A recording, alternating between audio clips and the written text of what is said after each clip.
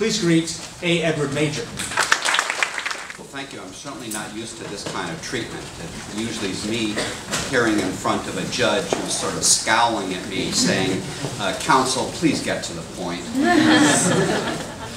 Um, When you think of Magna Carta, I want you to think of this first, please.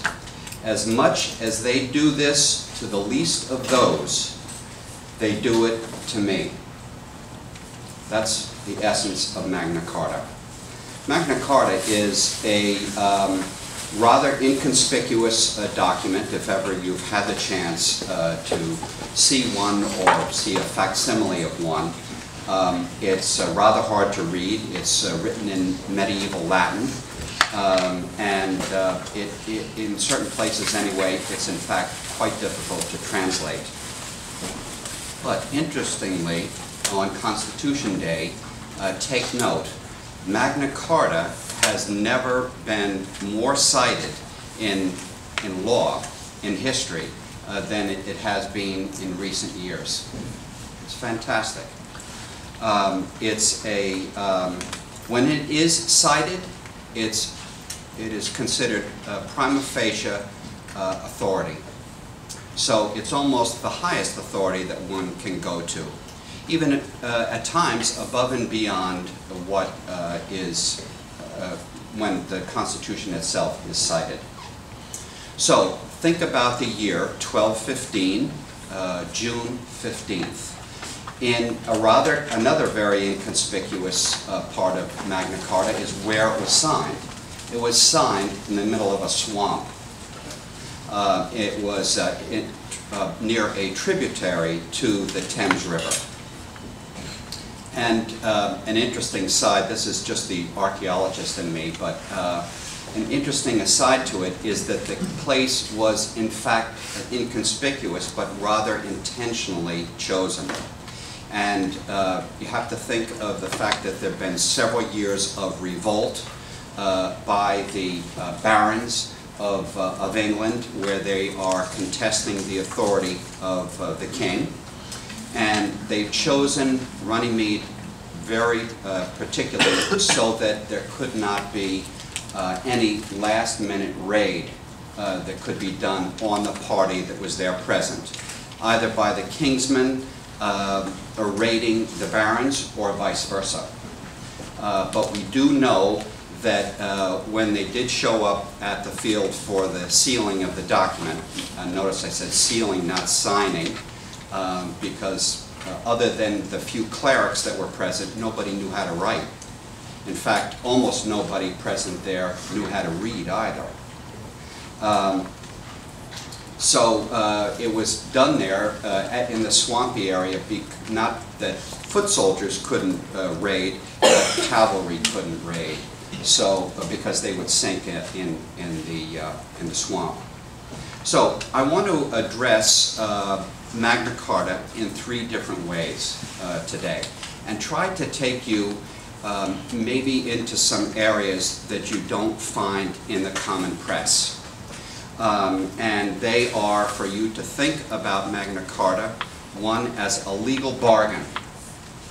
One. I want to go into some of the specific clauses of the Magna Carta itself.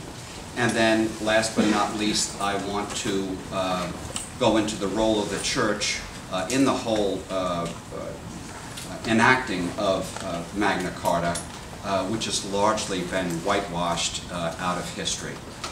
So, first of all, think of it as a bargain.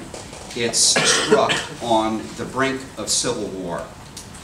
John has been holed up in a church in London, a very wonderful church. Should fortune ever bring you to London, it's a must-see. It's called Temple Church. And it's called Temple Church because it was the church of the Knights Templars who we're later going to discuss a little bit further. Um, The uh, magnates uh, offered fealty and homage to the king. In return, the king is offering uh, the liberties of the 63 chapters uh, that follow. Um, Not just to the magnates, but to, and the quote is, "the free men of England and their heirs forever. So, interesting, maybe legalistic point to you, but freemen um, is a much broader definition than those that forced John's hand, the barons. Um, in fact, uh, England at the time probably had something like 40,000 freemen.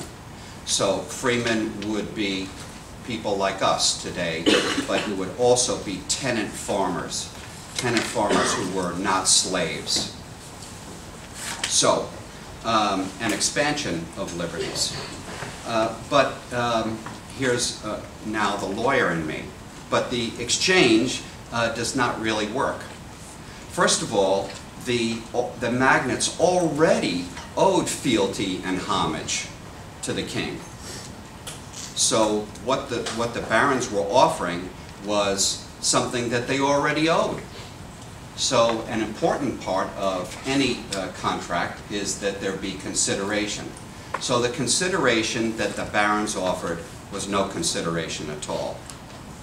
Further, uh, does the king really have the ability to pass these rights along, these 63 items? Does he really have the authority to do that? It's, that's unprecedented uh, before. And when I say unprecedented, think of Magna Carta as being about the fourth in the line of important documents which are granting rights, rights that had never been granted before. So Magna Carta is not a standalone document in terms of that. There is precedent for what it is that has been done, but all of these are uh, really being enforced um, at the point of a sword, is really uh, what's happening. So, in other words, another reason to believe that there, this is not a legally binding contract. The Pope didn't think so either, uh, as, uh, as we're going to get into. And he throws the whole thing out two months after uh, it's signed. Two months and nine days. Um, uh, now, uh, these are the rights of the king, and do his people uh, have a right to any or a right to demand consideration from their king? So this is an interesting concept. If the king is this uh, superior person uh, above the hoi polloi that the freemen consisted of, and even the barons consisted of, what right did they have to demand anything of their king?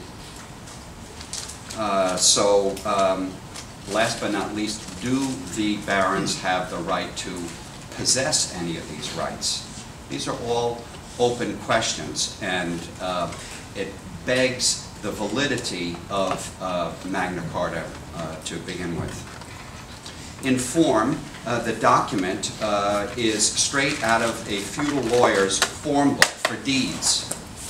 So here's the consideration. I'm going to give you $10 or I'm going to give you a peppercorn, which used to be um, uh, a, a, fictitious form of consideration that was used in contracts. So I'm going to give you uh, consideration and what are you going to give me in return? Well, you're going to give me these 63 rights. So that's the form of the document itself. But in substance, it's, it's not really consideration. It's a grant of civil and political rights.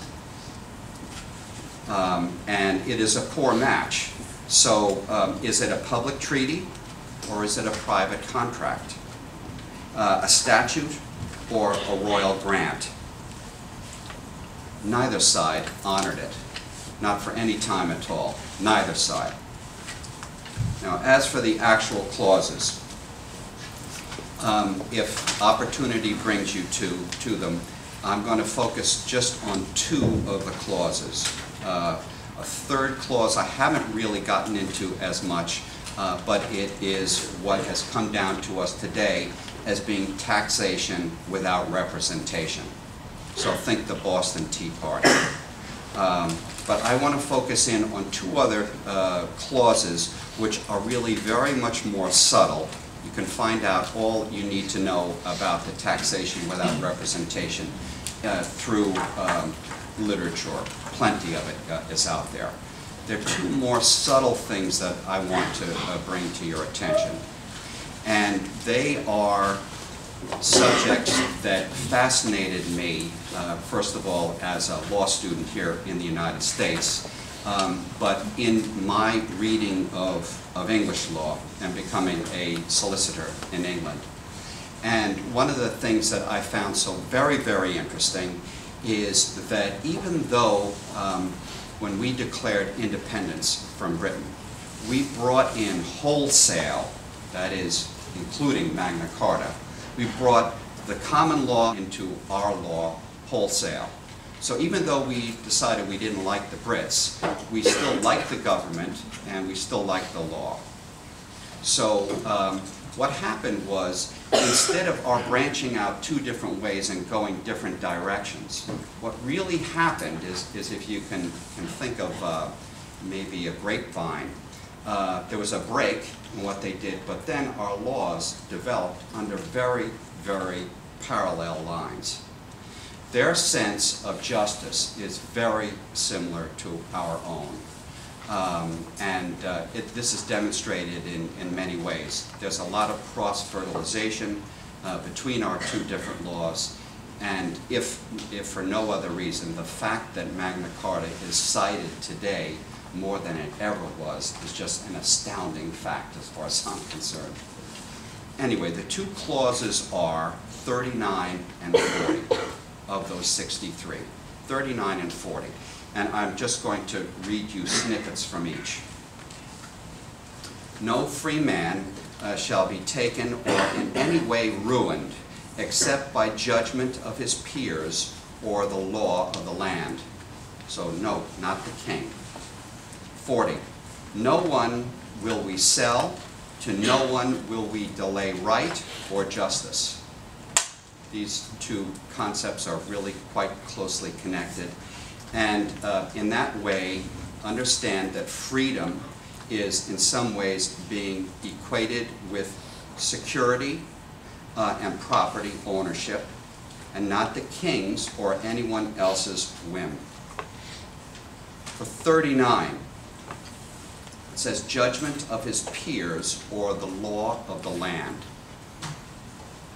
So these are two very interesting ideas judgment of his peers is a concept that goes back hundreds of years before Magna Carta. And what juries used to be, in fact, the earliest juries, in other words, when you weren't just appearing in front of, um, of a magnate or, uh, or a king or someone who was judging you, you know, maybe appearing in front of King Solomon. Uh, so when we are judged by our peers, peers was originally defined to be people who knew about the incident in question.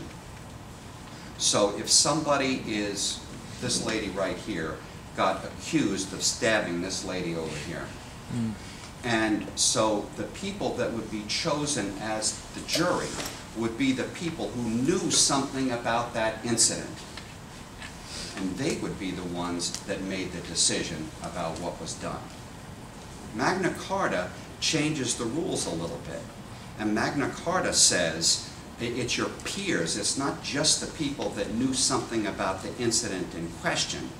Uh, they were your peers. So this is a very important concept because the, your peers are people that could understand your motivations. They're people like you and me.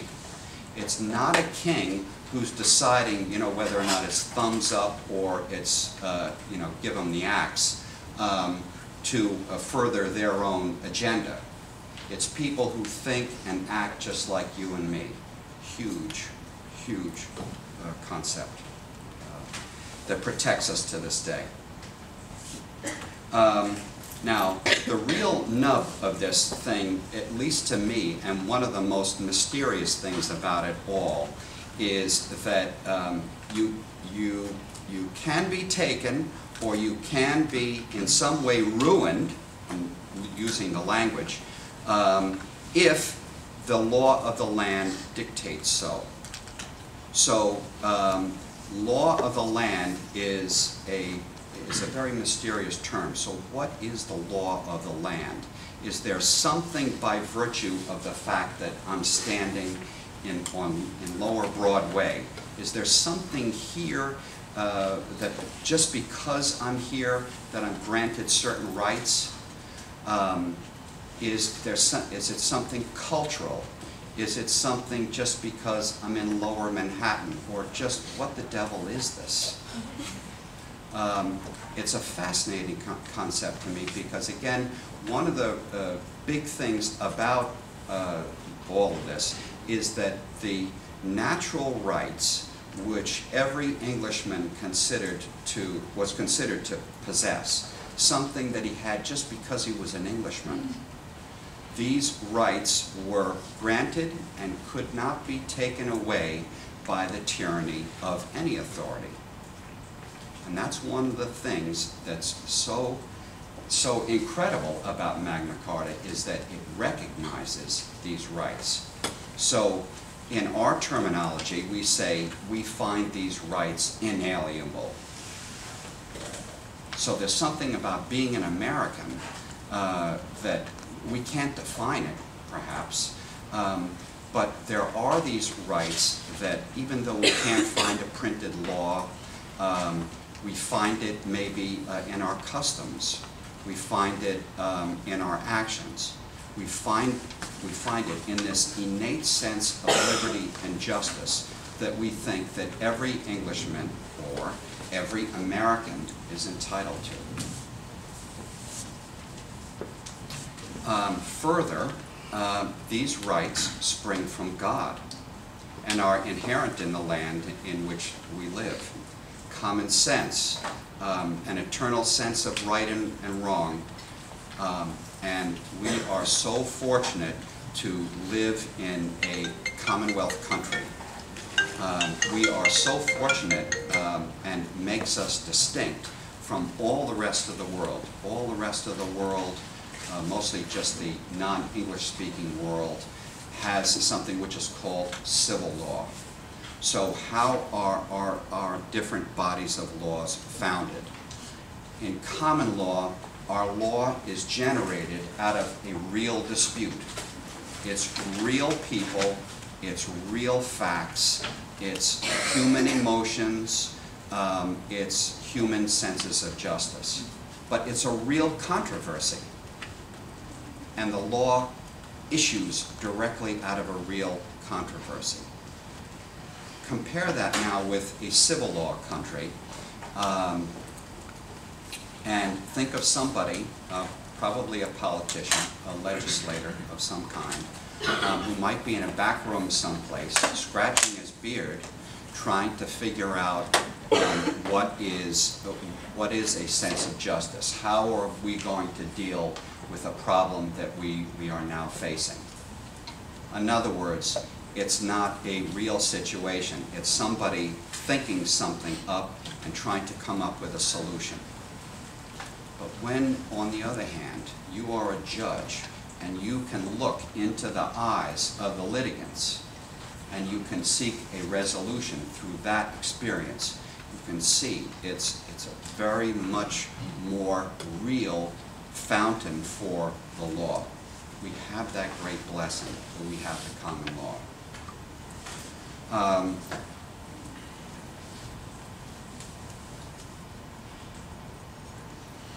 the other thing is about the common law is that uh, the, the reaction of the judge is real and it's visceral. Now, I promised to get into some of the whitewash uh, that has taken place uh, about the religious aspect, the role of the church in the founding, uh, in the um, uh, drafting and the sealing of Magna Carta. So I mentioned to you that there was civil strife. Uh, these barons are running around the country. Uh, they're taking the law into their own hands don't think of the barons necessarily as, as little angels, right? Uh, giving us uh, these great liberties that we now treasure today. They weren't so bad, uh, they weren't such good guys either. Um, they, for example, they didn't abide by the Magna Carta, as I mentioned, um, and neither did, did King John. But these guys are running around the countryside, uh, raising private armies, deciding what it is that they want to do, and what they what they finally come up with is a, a uniting under this common purpose uh, to uh, rid the country of one of the worst kings that England ever had, King John. And he was a scallywag uh, right, right from the beginning.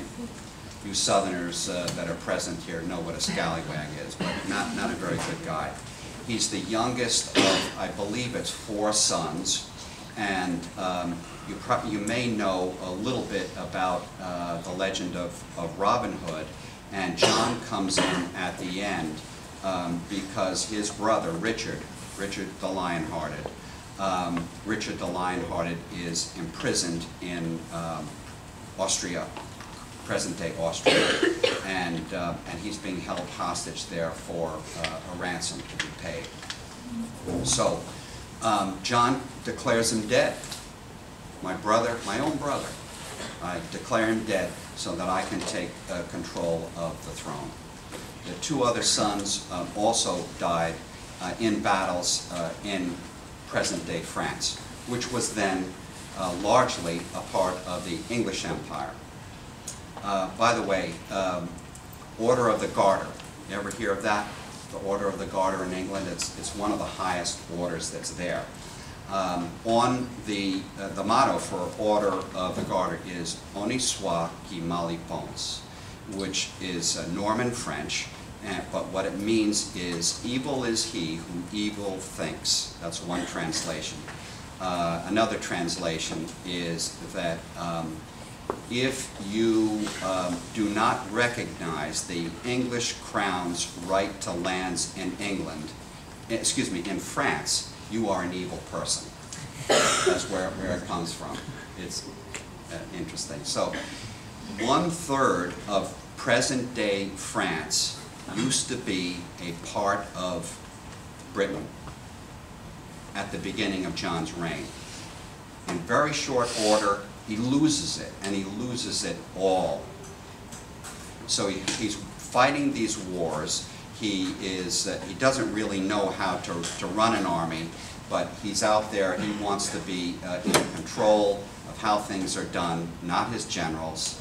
Um, and he ends up losing everything, and he has to impose these ruinous taxes. So one of the reasons why the barons are very upset. The things that they could do, and by the way, this was a thing that was done right up through the American Civil War, is um, rather than serving, men uh, have a required service, rather than serving, if you were um, better than a freeman, freeman had, no, excuse me, freeman uh, also could pay money and get someone else to serve in their place they, uh, John had increased that tax a great deal. He had increased several other taxes too. Um, one of the rather peculiar uh, clauses that's in Magna Carta concerns the authority to um, make an arranged marriage for a widow. Uh, and that this could be done uh, if you didn't want the arranged marriage, you could cause the marriage to be whoever the, the widow wanted to be remarried to, but only at the payment of a very large price. It's very difficult to read that clause, but anyway, that's what that's all about. So what John is doing is he's looking for any and every way to raise money so that he can get back to France and, and fight these wars. And the nobles are saying, enough's enough. Um, you should really stay out of this business. Uh, let's go back a, another day, which of course the English do, uh, but, um, but not uh, anyway at this time. There's a lot of stuff, speaking about peculiar things, there's a lot of stuff about eel weirs in the Thames River. so what on earth is an eel weir? Uh, an eel weir is a, a, a V-shaped um, low dam, and it's a, a way to um, to catch migrating eels in the uh, Thames River. And uh, it's obviously not an issue today, but uh, in, in that day, that was a big deal. So there was a lot uh, that concerned uh, the barons about this because this was a source of income uh, for them. So, looking at the relationship of the drafting of Magna Carta uh, to the role of the church and the recognition of, recognition of the hand of God. Um, It, the document itself, um, a little bit like the Code of Hammurabi, if you, you've ever had the chance to, to see that. Um, Hammurabi, here he is, he, he claims himself to be the master of the world. And, uh, you know, if you read the code, you'll see there's a whole lot of uh, um, uh, information that he, he gives about what a great man uh, he is. But first thing even Hammurabi does, and John does, it begins with the quote, "From reverence for God and for the salvation of our soul and those of our ancestors and heirs, for the honor of God and the exaltation of, of Holy Church and the reform of the realm." Um, Further, what is the first grant of liberty? Think of our Bill of Rights. What's um, uh, the First Amendment? So think the same thing. In the first place, we, meaning the royal we, so in the first place, King John has granted to God and by our present charter confirmed for us and for our heirs in perpetuity that the English church shall be free and shall have its rights undiminished and its liberties unimpaired. So, First Amendment, uh, another whitewash about First Amendment is everyone says that's, oh, that's freedom of speech. It's not just freedom of speech, it's freedom of religion uh, as well. Um, So here's John, first right that he grants is, is the freedom of the church.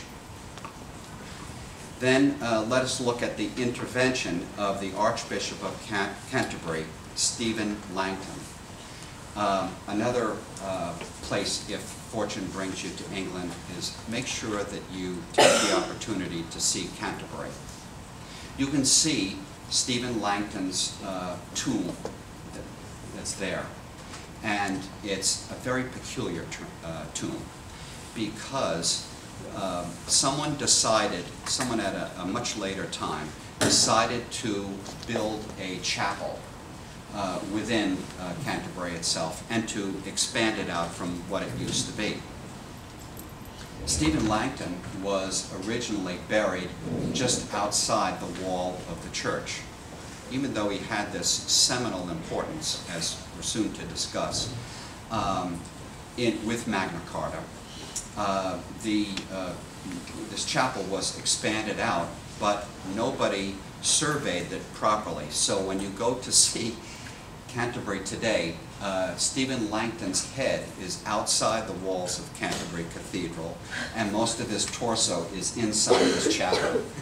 So it's a, a bit peculiar to see. Um, John is holed up in the Temple Church months prior to the sealing of the charter uh, because he was uh, fearing for his life.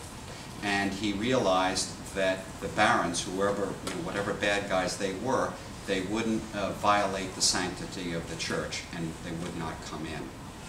Further, they would not come in because some pretty tough guys were inside the church, and they were the Knights Templars, um, including William Marshall, um, who, if ever you have the chance to uh, read about, uh, about knights of the medieval age, he is probably the most famous knight that ever lived. He's also an interesting person because he was a commoner, um, but he married uh, a princess and later on in life uh, does very well for himself, thank you. But, uh, but he travels all around the world and I think he's undefeated uh, in the tournament. Uh, The Knights Templar and uh, the clergy, don't think of them as loyalists. Don't think of them as being supporters of John. Think of them as being public servants. Think of them as people who are trying to do the right thing for England.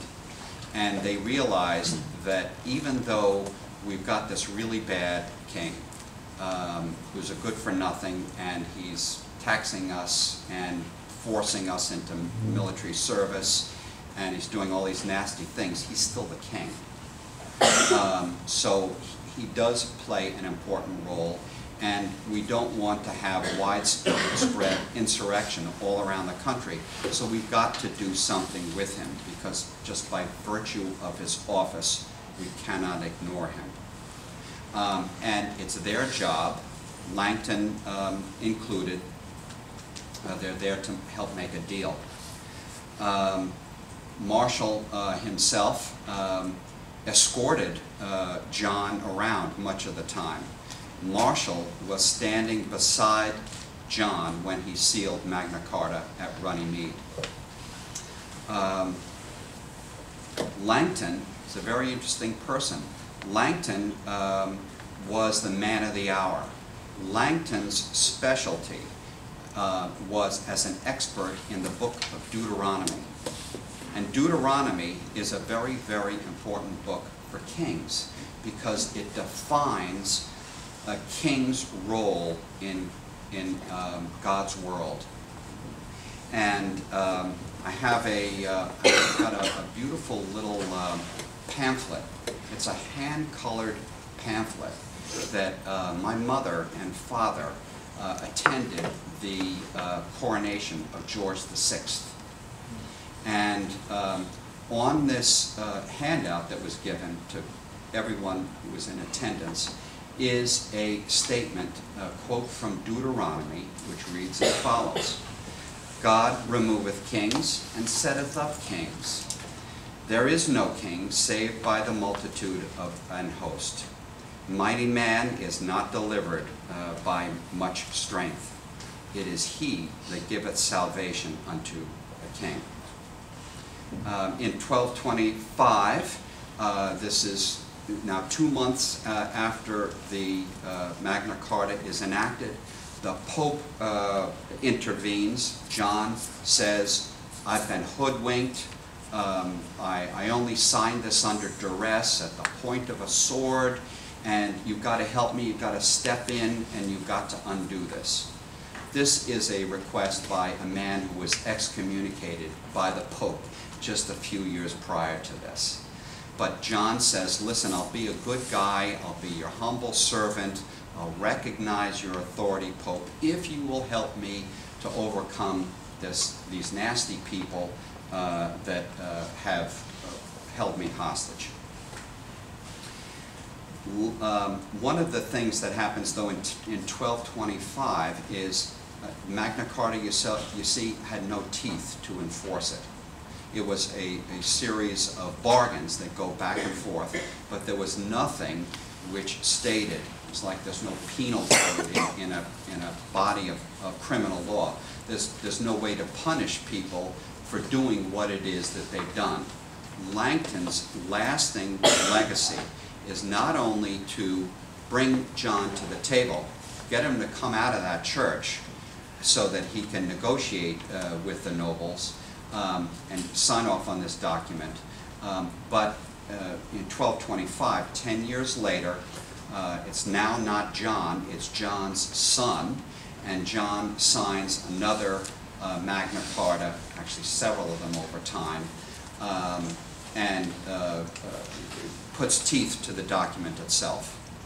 So, very, very important. Um, It was actually, prior to that, it was reenacted uh, 14 months after the 1215 version uh, was, was thrown out. The Pope annulled the agreement on the basis of uh, the intimidation of John and that Magna Carta was, and I quote, vile and base, but illegal and iniquitous. Those who sought to uh, enforce it would be excommunicated. Now, the point of the document um, and why it should uh, occupy such a palladium, uh, a great and a beneficent place in legal history, is that it proclaims natural rights. Uh, it names certain rules and customs which are considered to be of the land uh, as being law itself. But since it was disavowed only two months later after being sealed, um, why is it still maintained in such a fancy palladium? Disavowed as it was, uh, but then restated in slightly differing forms over the ages, uh, and its texts and terms continued as a battle cry of legal authority against tyranny and against any incursion of these rights. Magna Carta created a line in the sand where, if an authority of any kind, including the king himself, was to cross it, it would be palpably wrong. So uh, that, uh, for example, uh, Sir Thomas More, uh, when he's talking about some of the illegal statutes, what he considered to be illegal statutes that had been passed by Henry VIII, he of the many wives, uh, he said that uh, it's against the law of the land and the uh, terms of Magna Carta. That's the terminology that he used. Some of the great jurists, early jurists, this is before the time of America, are Sir Edward Coke and Sir uh, Cook, excuse me. Spell Coke uh, the way we pronounce it, but it's pronounced Cook. So don't embarrass yourself if you're citing Cook and call him Coke. Um, So uh, the- these two jurists, uh, Cook says in defense of uh, some expanding authority of James I, he's the, the Catholic king that comes back into to England. Um, one of the defenses that he uses, and he says that these laws are illegal, and he says it doesn't matter that the king wants to do this, uh, because um, Magna Carta is such a fellow that he would have no sovereign. That's a quote. I, uh, I love it. I, I think that's just, uh, makes the situation come, come alive for me. Um, So time and again, um, people have appealed to Magna Carta as a practical ground for opposition and a cloak of justification to any opposition to liberty. Uh, the importance of Magna Carta has only grown through time. Its associations, traditions, aspirations have only clustered more thickly around it as time has gone on. It is a turning point in common law countries. Uh, they have never turned back uh, since Magna Carta. And our common law system shines brightly around the world, and you will see so many uh, countries around the world, including us, um, who have cited Magna Carta over and over again. If you see some of the early literature, some of the stuff that was um, uh, published by um, Paul Revere, uh, by Thomas Paine, you'll see sometimes in illustrations, you'll see the patriot is fighting some bad guy, and the patriot's holding something in his hand, and it's a piece of paper. There's one thing in partic, one uh, ad in particular that was circulated, and on the piece of paper, so this is over 500 years later, the piece of paper has two words written on it, Magna Carta. So with that, God bless you all.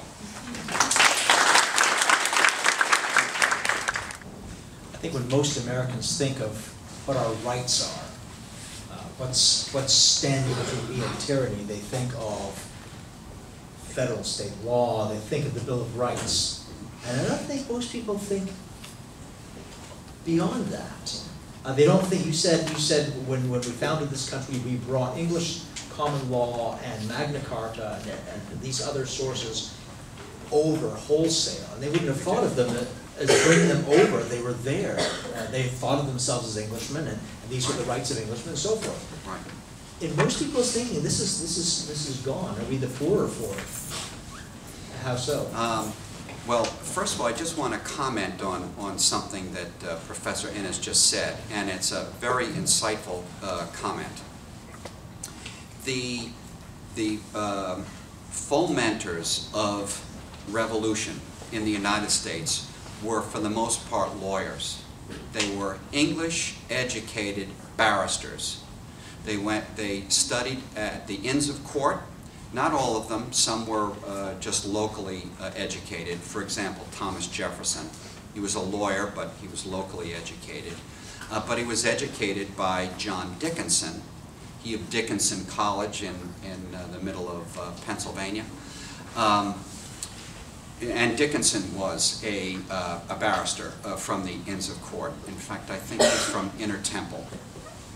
Um, and uh, the, the people that were making the protest were not saying, hey, give us independence. That's not what they were all about. They were just saying, treat us like Englishmen. Treat us like Englishmen. So that, for example, if you uh, were to look at the grant of rights to uh, people that were settlers and investors and participants in the Virginia Company. So uh, the early people uh, that came to uh, the United States when they were settling in Virginia, they were those, they were named after the Virginia Com uh, Company. Also named after uh, the first Caucasian uh, born in the United States uh, was a little baby um, who was named Virginia Dare, D-A-R-E. And um, you can see right where uh, she was uh, baptized in a funny little church uh, in London to this day. But, in other words, they're not saying um, we want to be a separate country. They're saying, hey, we, we like your system. We, we think you've got a great system going here, and we just want to be treated like everybody else. George III said, who was the then reigning uh, monarch of England, he said, no, no, no, you're just colonists. Um, and you're not entitled to rights as, as Englishmen. And, uh, but yet, uh, you know, things like the charter of the Virginia Company said, oh yeah, not only are you entitled to all the rights and privileges of Englishmen, but you're entitled to the rights and privileges of every other um, settlement, English settlement around the world. So if there are rights that are greater uh, in uh, New Zealand uh, to what they are in Britain, we get the best. We're, we're entitled to that type of treatment. So very insightful. One of the th reasons that, that I think, though back more directly to your, your question, Professor, one of the things that um, I, I think that we sometimes avoid the British connection um, is our strained attempt to be politically correct. Um, in other words, if you were to look at something, maybe this is a little deep, uh, but uh, permit me this uh, flight of fancy. If you look at things like foreign policy, you see there's tremendous effort that we go to in the United States to make sure that we are not showing favoritism to one foreign nation over another. And sometimes it absolutely defies logic why we should do that. Um, and I can give you a very practical um, example of this. Uh, before I say anything further, are there any Canadians present? Uh-oh. All right. Well, you two are in trouble. Um, and let me just tell you why. So I have a son who's a serving officer in the Army. And he's overseas uh, in, this was initially uh, in Iraq. And he's an engineer, he's a combat engineer. He has this really nasty job of locating and clearing IEDs. They are the big killers and the big maimers. They cause more uh, injury and death than anything else. So it's his job to locate and, and dispose of these nasty things. Most foreign nations, including the Canadians, did not send engineers. So that was fine. Our, our engineers were there. We had plenty of them. They were there to uh, mostly clear the roads. That's mostly what it's all about. Um, but there are Danes out there, um, no, no, um, no engineers, and the Brits are out there too. Um, so my son had to serve with a, a lot of these different nations, and it was a fascinating cultural experience. Um, but one of the things that he found was that when the explosions went off, almost everybody went the other way. These guys that are supposed to be there and they're supposed to be fighting like we are, as soon as the going gets tough, they're going the opposite way. Sorry to say, the Canadians did that too. Um, I don't know why that should be, because Canadians, Canadian Army are, are great fighters. I, it's okay, I don't hold you personally responsible. Um, but the Brits stayed, and the Brits were there uh, to complete the mission, and they were there to fight. It's another thing about when I'm talking about that parallelism uh, that exists in our legal system, our sense of what's right and wrong.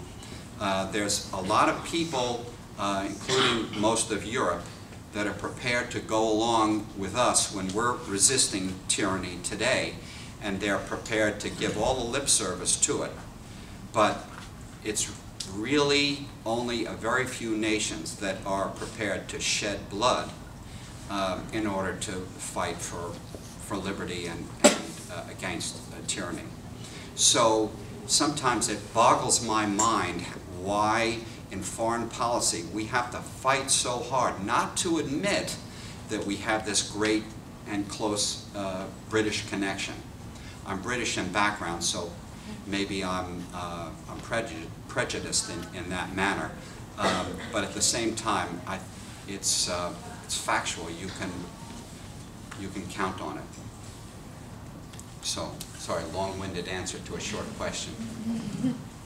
Do you have any questions for our speaker? I don't bite, I promise. Not at least in front of the rest of you, I don't bite. This lunch is for, Okay.